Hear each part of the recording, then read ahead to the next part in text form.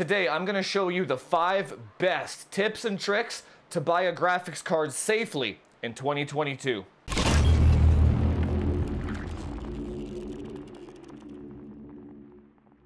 Now, recently, all the big tech tubers are talking about it because that article came out where they were like, don't buy mining GPUs secondhand or whatever. It's all poppycock, if you will.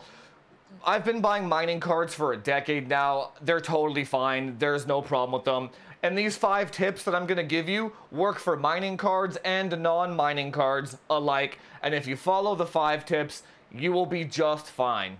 Tip number one, it's really simple. Just buy the card off of eBay.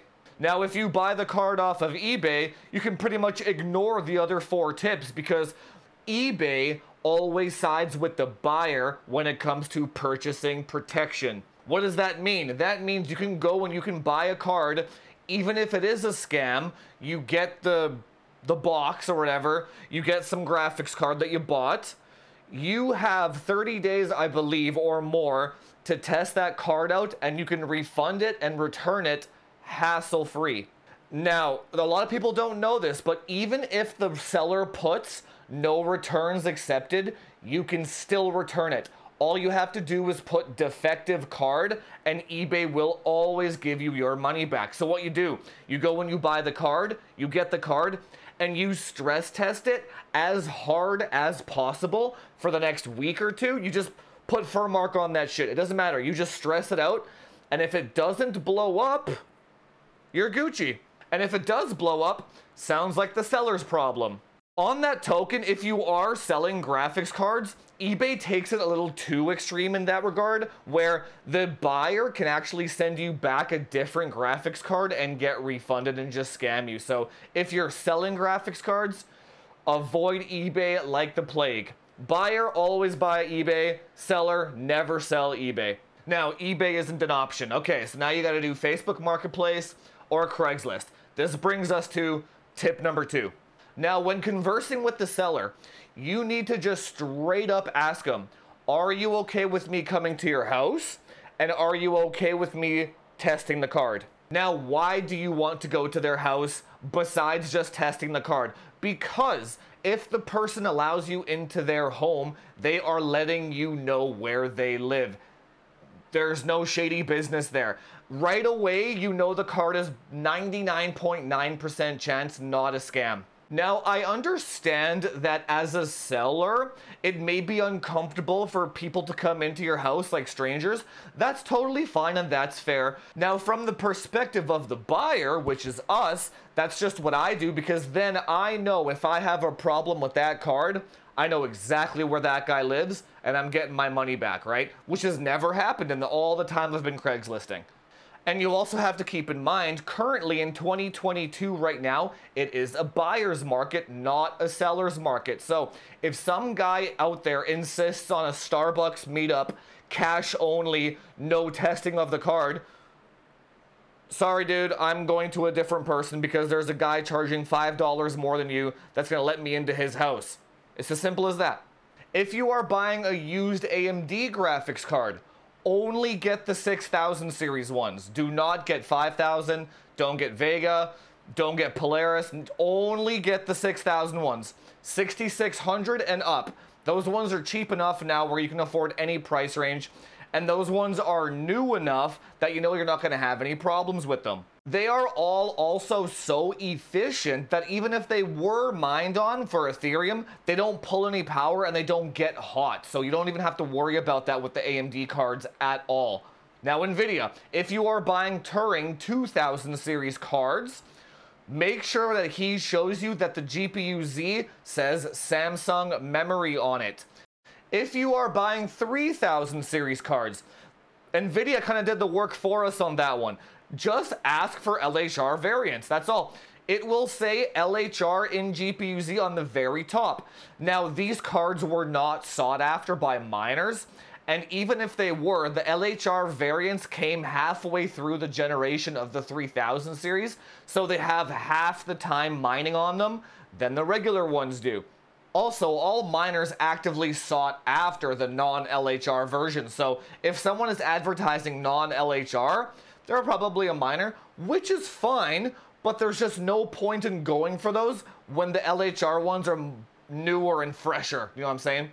Now, the GDDR6X cards, the 3070 Ti and up, there is a little bit more nuance to that story. But don't let that scare you. We have a ton of miners in my community here. We all mine. Um, but we are, we take care of our hardware, right? We've changed all the pads with the best pads. They don't go above 70 Celsius. We have also seen degradation on cards that have not been padded, right? So if you're, again, the, the LHR is a good place to start, which brings us to tip number four. Avoid 3090s unless they've been water blocked or they're from EVGA or a manufacturer that allows transferable warranty, okay? The only reason the 3090 is the exception is because it has memory on the back of the card, and most people didn't cool that at all. Uh, let me go show you something here. So this is my 3090 mining rig right here. It's a water-cooled one, right? But you can see that these cards are all water cooled on the fronts and the backs, right? Active back plate, active back, this is 20 Ti, active back plate, right? The problem is there's no way for you to know how well the card was taken care of, right? But if it has a water block on it, the guy is usually gonna be kind of an enthusiast in the first place. Most people that water block their cards are gamers. They're not this crazy shit. There's not this crazy mining shit, right? So water block is a good way to go. Which actually brings us to tip number five. Look for graphics cards ads that say optional water block with it or comes with water block. The reason being exactly as it was before. Cards that are underwater will literally last forever because there's no temperature fluctuations on those cards. So the best ones to go for are the ones that are water blocked or have been water blocked. Now you don't have to buy the water block, you're just looking for the ad that says, you know, extra water block for 50 bucks or whatever. Those are the ones you want to go for. Now bonus tip here, it's very important. Seems pretty common sense, but trust your gut. Humans have an innate ability to sense when something is wrong or off about another human being. So if you're in a situation where something doesn't feel right about the card that you're holding in your hand or the guy that you're talking to on Facebook or Craigslist, just say, thank you for your time. You'd be very polite. You say, thank you for your time. I'll think about it. I'll get back to you. And you leave the situation. It's as simple as that. You never have to feel pressured to buy anything. Now, last thing I'm going to talk about, I know it's whatever, tip number seven. Degradation can be random a lot of the time. So just because a card is a regular GDDR6, it doesn't mean it can't fail. This card here I have here is a 3060 Ti Vision. This one failed on me after about five months of mining. What happened with this one was the memory slider was up to like plus 1500 and every week it would go down 100 and if I put it any higher it would crash. Now this card crashes on minus 1000 memory. I'm sending it in for RMA but what we have here is I can show you exactly how to test to see if a card has degraded. So if you're in the guy's house and you're testing out the card for yourself, how do you test to see if it's degraded? I'm gonna go show you. Let's go upstairs. Okay, so the card is plugged in here. Everything on GPU-Z shows up just fine. See, this one's even an LHR one, so it's actually relatively new. So everything works fine in Windows. You would never think that this card has actually degraded on first glance. So let's actually run the miner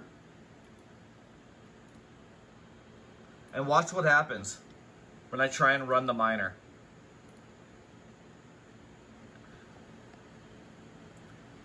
It will actually come up with a memory error in red on the right here because it can't actually load the DAG file properly. That's how far this one has degraded. So this is actually one way to check. See how it comes with exclamation mark here? Completely bone stock, right? It will actually crash the entire uh, PC if I let it go do its thing, right? So that's one way you can check, but I'm not sure if the guy wants you to run mining software at his house, right? So what you can do instead is you can load up Time Spy and you want to use graphics test number two. This is the one that heats up the memory by a lot, right? Um, and you want to only run Time Spy number two, and you want to loop it. So it will constantly loop and heat up the memory as much as possible. And you're actually going to see it artifact. I don't think it's going to do it. I think it'll actually just crash right away because this one has degraded so far. But let's just see what happens here. You should be able to see the artifacts on the screen before it actually crashes. And the artifacts will get worse as the card heats up. So let's see here. Yeah, you see that? It looks like, uh, like you're on an acid trip, right? And then as the as the card heats up and heats up, it's just gonna get worse. There it is, it just crashed. So anyway, if you were at the guy's house and this shit happened, you'd be like, uh, yeah, I'm good, bro. I'm, I'm good. Thanks for your time, man.